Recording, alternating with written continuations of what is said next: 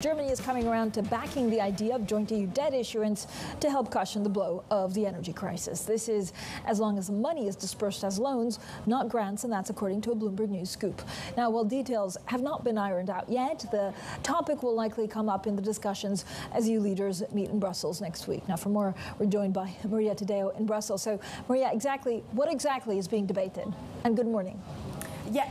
Uh, good morning to you too, Francine. And and you uh, made out uh, what is a critical difference here. I think you explained it very well. This is about the loans, it's not the grants. So in other words, it's not a rerun of the recovery fund. This won't be a recovery fund 2.0. That was 750 billion euros back in 2020. Remember, the amount was split. Some was grants, the other uh, was loans. The idea here, however, is that you could see European institutions tap markets that is triple A rated and then get the funding and distribute that to to member states that are now crystal clear they will need additional help to deal with the winter crisis. The core issue, and this is fundamentally the thinking behind this, is that if you tap the market as EU27, you'll get a better funding rate than you would if you're, let's say, a peripheral country going out to the markets by yourself. So that's where the debate is at. But I should note, however, this is something that would have to be presumably agreed by the EU27 unanimously, and it's clear that we're not there yet. We just uh, played an interview with the Dutch finance minister Minister, which she said it very openly,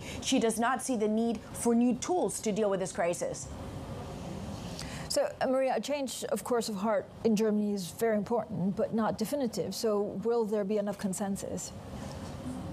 Uh, yeah, and, and, it's not definitive. And again, I should also note that the German government has not made this uh, position uh, official. This is a story that broke yesterday uh, on the Bloomberg, citing a number of sources, but officially, Olaf Scholz has not uh, said this on the record. But the choreography now, uh, Francine, from now until next week will be that today energy ministers will meet. At one point, the Commission will come up with a plan of action that may or may not include this. That will be a key point. And then it's up to European leaders next week on October 20th and 21st to really figure out what type of response uh, they're going to put up with the, the, this energy crisis and what type of well consensus they can build around some of the measures that are being floated pretty much every day, I should say, in Brussels. This is a very active debate here.